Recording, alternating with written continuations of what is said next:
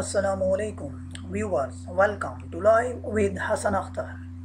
Viewers our today lesson is from class 9th unit number 1 matrices and determinants we will solve today the exercise 1.6 viewers you have already defined what is a matrix then you came to know about its order what is a determinant.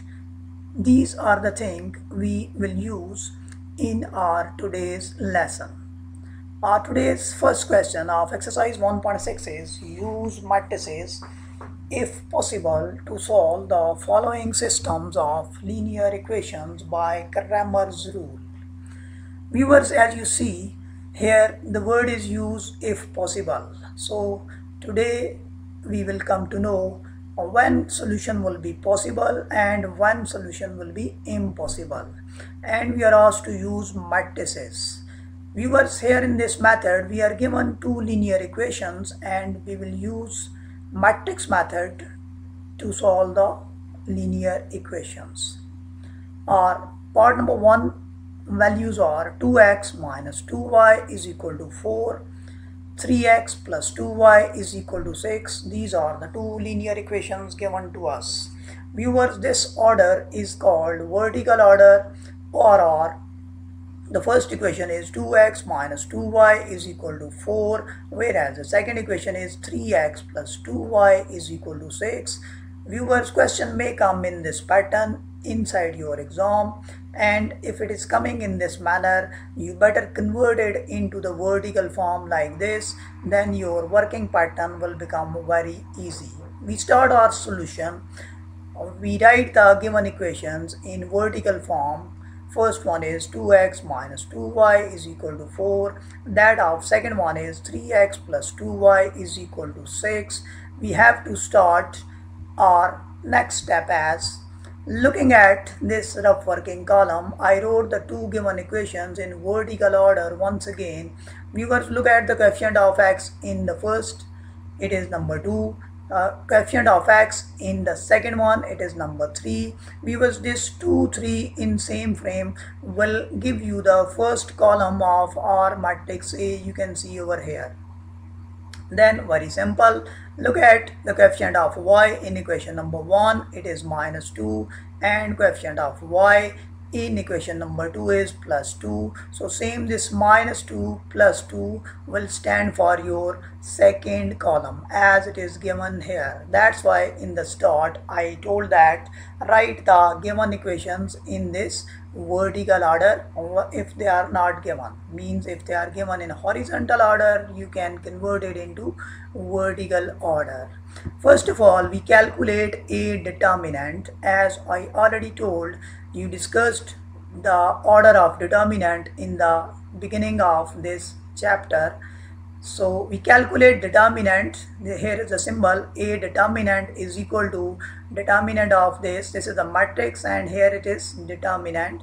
We apply the order of determinant. It is that first place element multiplied with last place element like 2 multiplied by 2 then in between you are must to put the sign minus then the next second place element to be multiplied with third place element. So we write minus 2 into 3 making the simplification. 2 into 2 gives us 4 minus into minus 2 plus 2 into 3 gives us plus 6 so the result comes here 10 that is the value of a determinant it is 10 now we calculate ax viewers very interesting. What is ax as you can see 4 6 here.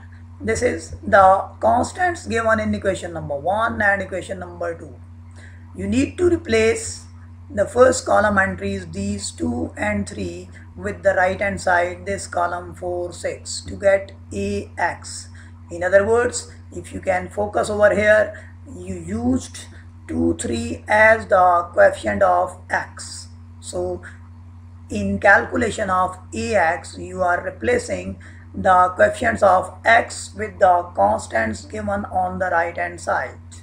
So our ax matrix becomes 4 minus 2 6 2 in row order we calculate its determinant ax determinant becomes determinant of 4 minus 2 6 2 the method is same. First place element multiply with fourth place element 4 into 2 in between sign minus. Then second place element multiply with third place element.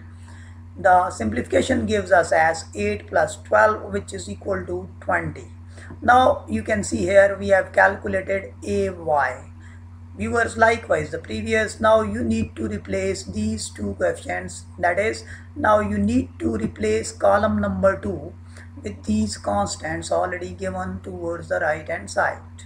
So a y becomes a matrix of order 2 by 2 with entries 2 4 3 6 row wise next we calculate its determinant. Ay whole determinant is equal to determinant of 2 4 3 6 again applying the same order 2 multiplied by 6 we get 12 minus 3 multiplied by 4 again we get 12 so 12 minus 12 gives us a 0 next we move towards the formula that is utilized in Cramer's rule. It says now x is equal to ax determinant over a determinant. Viewers we calculated the answer of ax determinant as 20 whereas the a determinant we already calculated this is number 10 so using these two values over here we have 20 over 10 that gives us number 2 as the value of x. Likewise the rule for calculation of y is y is equal to determinant of ay over determinant of a as you seen here value of determinant ay it is 0 value of a determinant it is 10 0 over 10 will give you 0 hence x is equal to 2 y is equal to 0 this is the required answer. Moving to the next part number 2 values are 2x plus y is equal to 3 6x plus 5y is equal to 1 already told you that if the question comes in exam in horizontal frame you are better to convert it into this vertical frame. Working will become very easy. Hope you all understand. We now start its solution. Whether already given in vertical frame or not we converted the given equations into the vertical frame Question number 1 is 2x plus y is equal to 3. Question number 2 is 6x plus 5y is equal to 1. In addition, I wrote the same on the rough working column. If you can understand over here, I can explain here, no problem. In equation number 1, coefficient of x, it is 2. Whereas in equation number 2, coefficient of x is 6 so the first column of matrix looks like 2 6 you can see here the entries of the first column 2 6 Likewise, the coefficient of y in equation number 1 it is plus 1 that of y in equation number 2 it is 5 so the entries of column number 2 are 1 5 you can see here 1 5 hope this is clear and interesting as well as easier for you. We now calculate its determinant.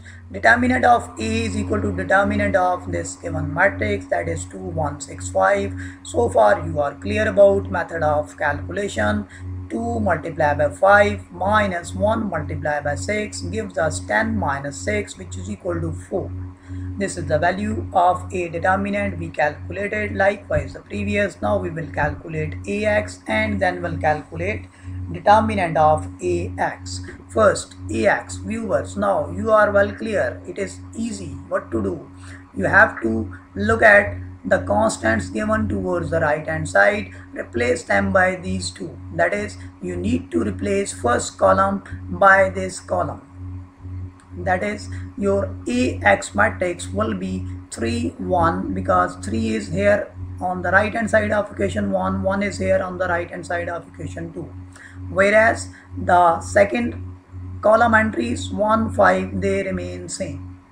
Now we calculate its determinant determinant ax is equal to determinant of 3 1 1 5 applying order of determinant 3 into 5 minus 1 into 1 gives us 15 minus 1 which is equal to 14 we now calculate a y determinant. Now what we will do?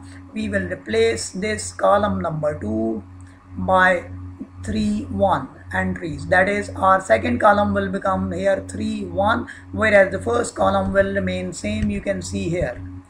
AY is a matrix having entries. 2 6 first column same. Second is replaced and new values are 3 1 we calculate its determinant. Determinant ay is equal to determinant of 2 3 6 1 applying order of determinant 2 into 1 minus 3 into 6 simplification gives us minus 16 now using the formula x is equal to ax determinant over a determinant. Putting the values we get 14 over 2 cancellation gives us as 7 over 2 likewise rule for y is equal to a y determinant over a determinant putting the values minus 16 over 4 gives us minus 4 hence x is equal to 7 over 2 y is equal to minus 4 is my answer. Hope you all understanding and enjoying this easier method. We move to the next part part number 5 values are 3x minus 2y is equal to 4 second equation is minus 6x plus 4y is equal to 7. We start our solution using either the rough column or using the same frame of given equations. Our first column, now viewers we are clear about the method. So our first column very clear from here is that 3 minus 6. You can see here the first column entry is 3 minus 6. The second column is minus 2, 4. You can easily see here the second column of matrix A it is minus 2 4 after writing matrix A we first of all calculates its determinant. A determinant gives us as determinant of this matrix applying the order of determinant 3 into 4 minus minus 2 into minus 6 the result gives 12 minus 12 is equal to 0 viewers interesting. See here the value of a determinant becomes 0 over here. So what will happen next as by Cramer's rule we have x is equal to determinant of ax over determinant of a and y is equal to ay over determinant of a. Here determinant of a is equal to 0 so we will be having this situation that any number divided by 0 this is undefined. That's why inside your statement it was written if possible. So students to solve the equations by using matrix method your value of determinant must be non-zero. Here a determinant is equal to 0 hence solution is impossible in this case. Hope you all understand. Thank you very much